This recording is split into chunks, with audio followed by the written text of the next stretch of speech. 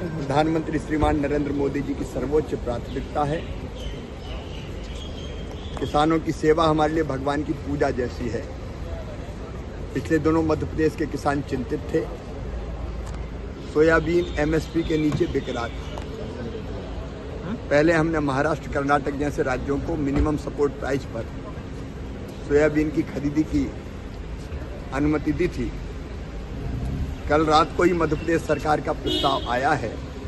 MSP पर soybean की खरीदी का उस प्रस्ताव को हमने स्वीकृति दे दी है।